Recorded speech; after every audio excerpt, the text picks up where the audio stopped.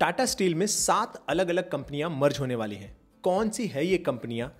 क्यों ये मर्ज हो रही हैं? इससे टाटा स्टील को क्या फ़ायदा होगा? एज अ शेयर होल्डर हमें इस मर्जर से क्या फ़ायदा हो सकता है? क्या हमें इस मर्जर के बाद शेयर्स को बाय करना चाहिए? या फिर अभी बाय कर लेना चाहिए? और एक लास्ट इंपॉर्टेंट पॉइंट उन सारे एम्प्लॉयज़ का क्या होगा? जो ऑलरेडी पुरानी कंपनियों में काम कर रहे हैं। और इस मर्जर के बाद कौन से रेशियो में आपको शेयर्स अलॉट होंगे? वो सारी चीज़ें हम इस वीडियो में देखने वाले हैं। तो जो टोटल सात कंपनियाँ मर्ज होने वाली हैं, उसमें से चार कंपनियाँ तो ऑलरेडी लिस्टेड हैं। Number one Tata steel long products number two Tata Metaliks third is tin plate company of India fourth is TRF limited fifth is Tata steel mining six is Indian steel and wire products and seventh is S N T mining तो ये सात कंपनियाँ हैं जो Tata steel में मर्ज होने वाली है। और इसमें से ये चार कंपनियाँ ऑलरेडी लिस्टेड हैं। Now the question is why they are merging और इससे क्या फ़ायदा होगा?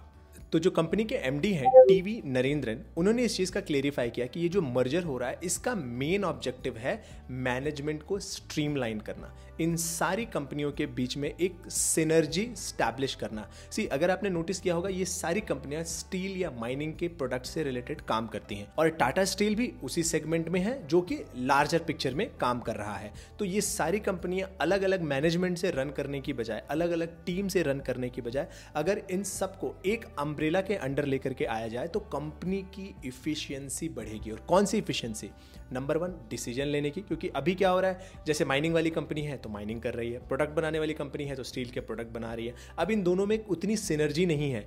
और इनमें जो मैनेजमेंट की इफिशियंसी है, वो भी ज़ाहिर सी बात है हिलेगी, क्योंकि यहाँ भी मैनेजमेंट से आपको अप्रूवल लेना पड़ेगा, यहाँ भी मैनेजमेंट से आपको अप्रूवल लेना पड़ेगा। ये चीज़ काफ़ी टीडियस हो रही है, जबकि सब काम सेम सेगमेंट में कर रहे हैं सेम कंपनी के लिए कर रहे हैं। एवरीथिंग इज़ टाटा की कंपनी। इसमें से काफ़ी सारी तो टाटा स्टील की सब्सिडरीज भी है तो ये काफ़ी लॉजिकल हो जाता है कि इन सारी कंपनियों को मर्ज किया जाए। अच्छा अब मर्ज होने के बाद, जैसा कि मैंने आपको बताया मैनेजमेंट लेवल पे बहुत आसानी हो जाएगी डिसीज़न लेने में number one number two client sharing बहुत आसान हो जाएगी। जैसे already Tata long products and Tata Metaliks इनका जो काम है, ये काफ़ी मिलता जुलता काम है। तो इनके क्लाइंट्स अलग अलग ये लोग अपने अपने क्लाइंट्स मैनेज कर रहे हैं। इनका पूरा मैनेजमेंट है, उसका पूरा अप्रूवल प्रोसेस है। तो वो सारी चीज़ों से एक तरह से यू नो छुटकारा मिल जाएगा जब एक ही मैनेजमेंट होगा, उसका एक क्लियर विजन होगा कि मुझे इस कंपनी को कहाँ लेकर के जाना है और उसे सारे निर्णय लेने में आसानी होगी। तो ये मेन ऑब्जेक्टिव है। और ऐसा भी नहीं कि ये मर्जर कोई बहुत ही न्यू है। इसके पहले काफ़ी टाइम से टाटा स्टील इस पर कंटिन्यूसली काम कर रहा है।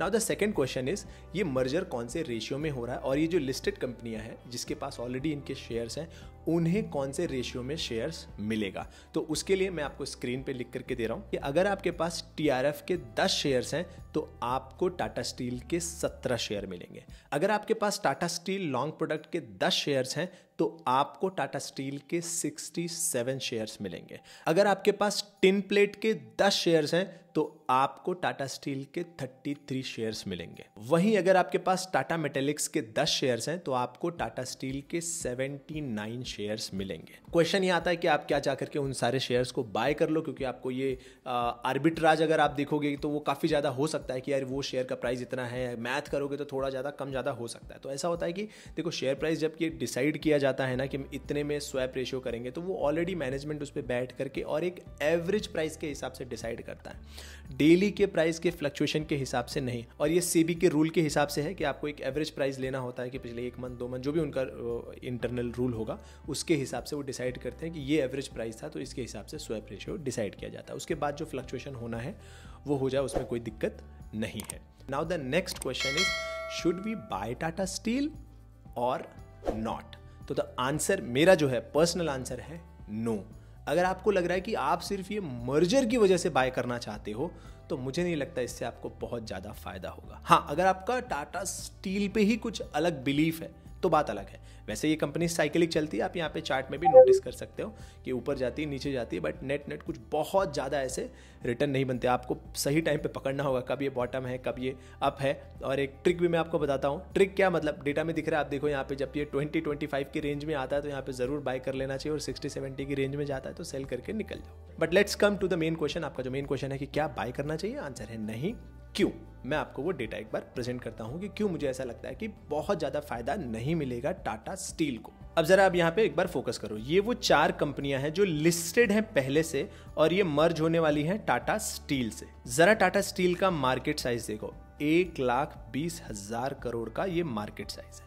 और वहीं इन कंपनियों का मार्केट साइज़ देखो। देखो शेयर प्राइस से कुछ नहीं मालूम पड़ता। देखो, यहाँ पे टाटा स्टील का शेयर प्राइस 99 का है, जबकि मार्केट कैप जो है वो एक लाख बीस हज़ार करोड़ का है। इन कंपनियों से कम से कम 25-30 गुना बड़ी कंपनी है वो। लेकिन यहाँ पे शेयर प्राइस देखो, इनका ऊपर ऊपर ऊपर चल रहा तो शेयर प्राइस से कुछ भी नहीं मालूम पड़ता, इस पर फोकस करने की ज़रूरत नहीं। मेन है आप मार्केट कैप पे एक बार फोकस करो। And what market cap cap says जरा देखो। ऑलरेडी टाटा स्टील एक लाख बीस हज़ार करोड़ की कंपनी है।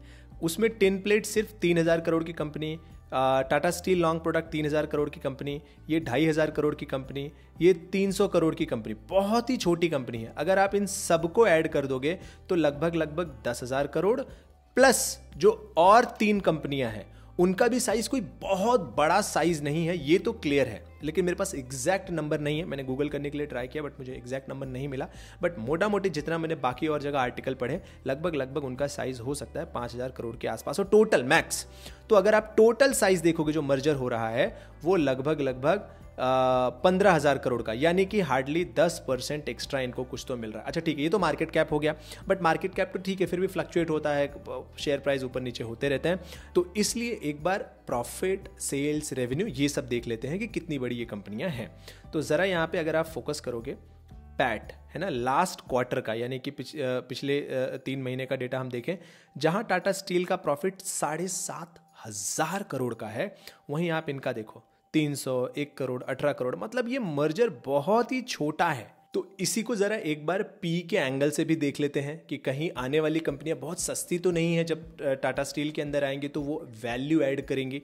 तो ज़रा वो एंगल से भी एक बार अगर आप देखोगे पी के एंगल से तो टाटा स्टील का जो पी है, वो तो अभी बहुत ही ज़्यादा नीचे चल रहा है। थ्री के पी पे चल रहा है, क्योंकि ये फ्लक्चुएट होता रहता है। दैट्स ओके वहीं अगर आप इनका पी देखोगे, यानी कि इसके कंपैरिजन में आ टाटा स्टील के कंपैरिजन में यहाँ पे ये कंपनियाँ जो हैं, वो महँगी हैं और यहाँ पे जाकर के मर्ज हो रही हैं।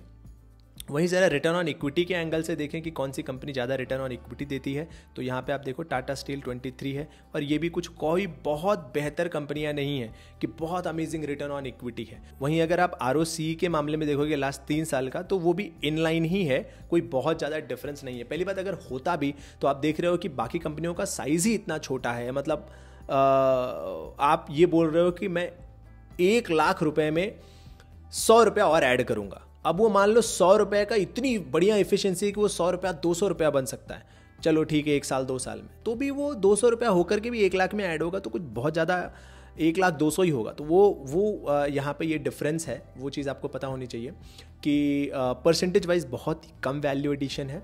लेकिन मैनेजमेंट को काफ़ी ज़्यादा इफिशियंसी होगी क्लाइंट का शेयरिंग होगा डिसीज़न लेना बेहतर हो जाएगा तो यहाँ पे ये सारे फ़ायदे होंगे इस मर्जर से। आई होप ये डेटा देखने के बाद आपको थोड़ी क्लैरिटी आ गई होगी कि ये जो मर्जर है, ये सुनने में बहुत बड़ा, बहुत बढ़िया, बहुत इफिशियंट लग रहा है। बट ये मोर ऑफ़ मैनेजमेंट के एंगल से है। एज अ इन्वेस्टर हमें कुछ सडन फ़ायदा नहीं मिलेगा। फ्यूचर में धीरे धीरे फ़ायदा मिलेगा।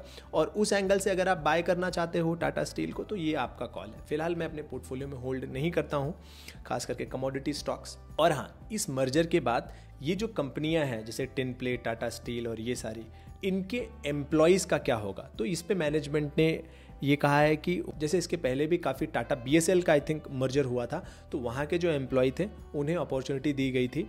देखो, जो काम के हैं, जो उनके हिसाब से, जो सिस्टम में फिट बैठ रहे हैं फिट आ रहे हैं, उनको तो उन्होंने रख ही लिया था, लेकिन जो फिट नहीं आ रहे थे, उनको अपॉर्चुनिटी मिली थी काफ़ी लोगों को कि टाटा स्टील में जो हमारे पास कुछ वैकेंसीज है, वहाँ पे अगर आप आना चाहते हो तो आप आ सकते हो। बिल्कुल उसी तरीके से मैनेजमेंट ने कहा है कि यहाँ पे भी अगर कोई अपॉर्चुनिटी रहेगी तो हम उनको देंगे। तो अगर इन सारी इन्फॉर्मेशन को समराइज़ करें तो मैनेजमेंट का इसमें ज़्यादा इफिशियंसी वाइज फ़ायदा है। शेयर होल्डर का कोई बहुत ऐसा मैजिकल फ़ायदा नहीं है और एम्प्लॉयज़ का यस कुछ एम्प्लॉयज़ का डेफिनेटली नुकसान हो सकता है। सो आई होप इस एनालिसिस से आपको एक फेयर आइडिया आया होगा कि आपको आ, सिर्फ़ ये मर्जर की न्यूज़ सुन करके बाय या सेल करना है या नहीं करना एक थोड़ी सी क्लैरिटी आई होगी आपको। तो अगर आपका कोई फीडबैक है या कोई फॉलोअप क्वेश्चन है तो आप कमेंट में पूछ सकते हो। सो so, मिलते हैं नेक्स्ट वीडियो में। Thank you so much and जय हिंद